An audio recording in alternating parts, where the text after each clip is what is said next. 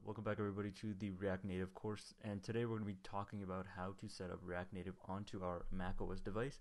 Now if you don't have a macOS device don't worry, I have attached links in the description down below for some very good videos that you can follow for Linux and uh, Windows and by the end of it, once we have everything set up, we are going to be installing this boilerplate code as our um, as our actual app and then we're going to build our app through there so then we have a pretty good building block and how to work with everything.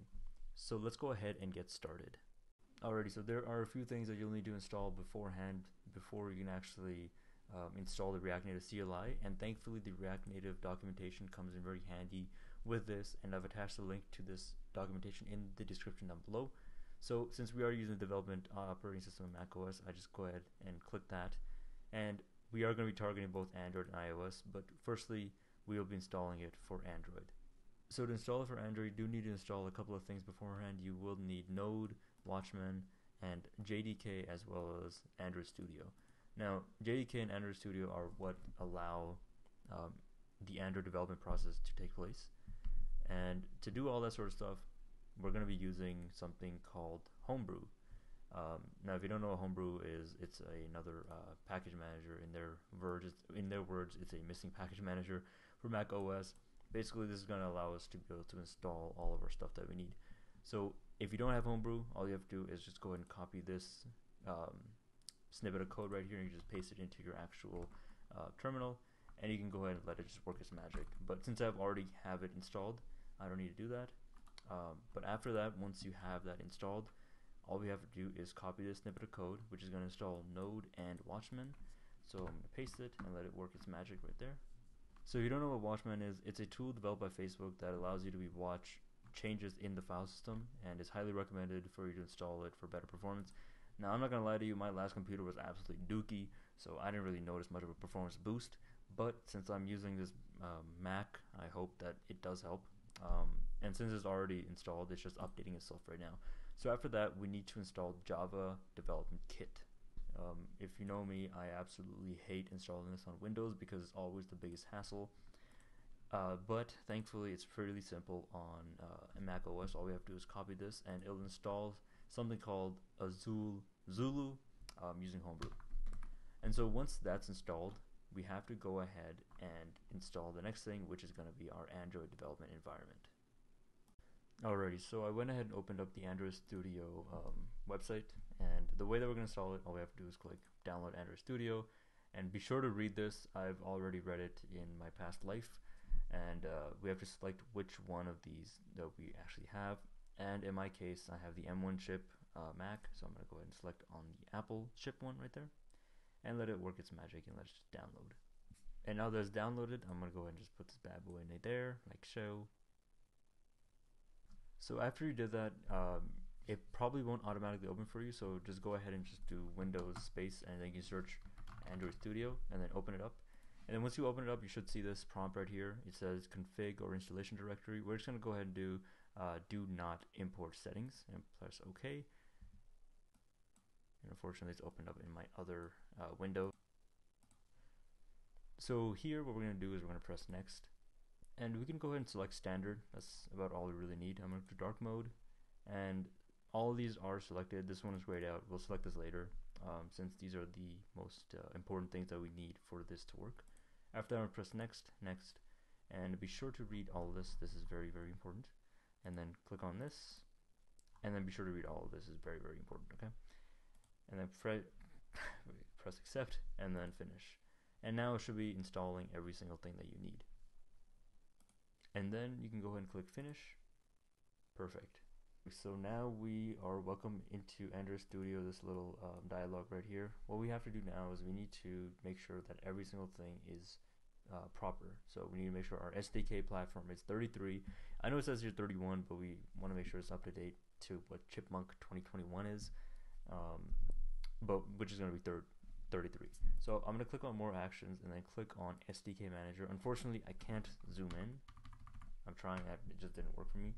Um, but when um, when you do go into this page, you're gonna see it look something like this right here. Go ahead and click on this show package details right here. Uh, it's very hard to see, I know, but uh, it says show package details. And what we have to do is, depending on what our um, chip is, if it's an M1 or an Intel, we have to install a couple of things.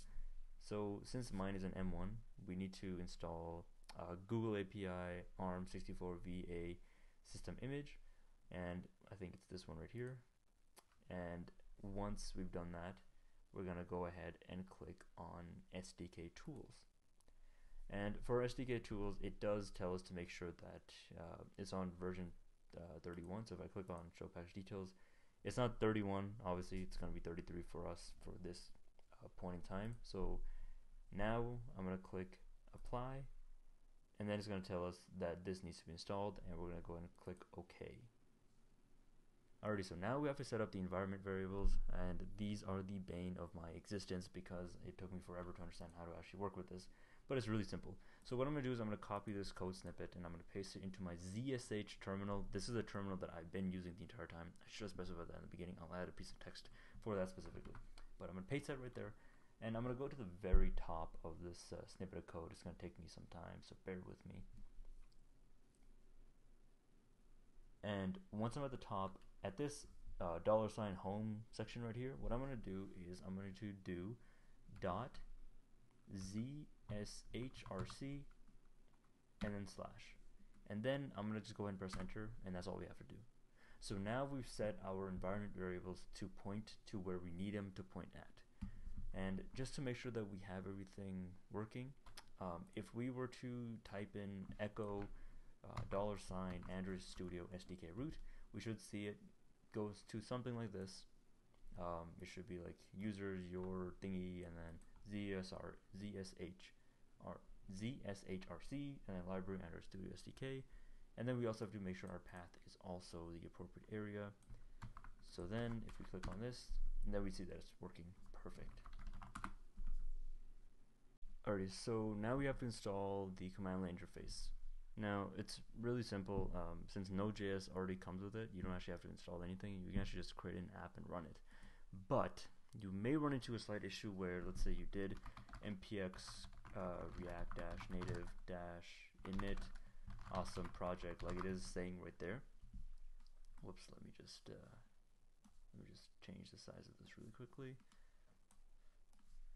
and it may say something like unresolved undefined can't find um, react version 0.69 or something like that so to fix that issue if you ever have it um, all you have to do is run this command where it is rm-rf uh, squiggly line slash dot npm, which removes the npm um, folder, and then it'll work for you. So then all you have to do is npx react native init awesome project. So now we're done with. So now let's go ahead and actually make sure that this is working. So I'm going to go ahead and continue to run this app, but I'm going to run it in my desktop. So ls cd desktop uh, Yep, go ahead and then we're just going to do that right there and let it work its magic. Alright, so now the next thing that we have to do now that our app is installed, we need to create a virtual device. So I open up my Android Studio and I'm going to click on more action and click on virtual device manager and then we'll see that there's already a device made but this device is dookie. It's not going to be able to do anything so I'll go ahead and just delete it, get it out of there. Alright, now what we're going to do is we're going to create a device and I'm going to click on the most recent one and we're gonna do let's go with pixel 5 and then we'll go click next we're gonna we're gonna leave it as uh, API level 33 next and i am gonna leave it as the name is pixel 5 API level 33 and nothing to change there. And nothing to change there. Perfect. So now if we click finish let it make its let it make the device click on this play button and let it run the device. So now the device is running right here.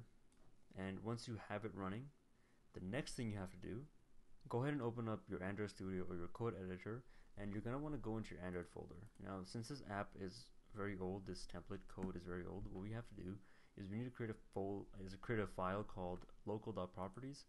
And basically what this is going to do is it's going to tell the app to look at our SDK. So if you were to run the app right now, what's going to happen is it's going to give you a big error that's going to say um, cannot find SDK in this uh, directory that you've specified. So what we have to do is create a local properties file inside of the Android main folder and then give it sdk.dir is equal to space slash user slash your name right here slash library slash android slash sdk and then once you've done that everything should be fine if you have another problem still um, with your uh, SDK pointing at an incorrect area, what you can do is you can actually go back into the um, configuring your Android SDK root environment variable, and you can just go ahead and just copy and paste this as is into your terminal. And then once that's done, you can actually go ahead and run this command called npx-react native-start. And while that's started, I'm going to open up another terminal and I'm going to do npx react-native run-android. and it should be talking to our um, emulator device right here oops let me go ahead and minimize this a little bit so we can see both things at the same time so it's saying that we have an issue and that issue is and so the error that we had was that we just didn't have enough space on our device.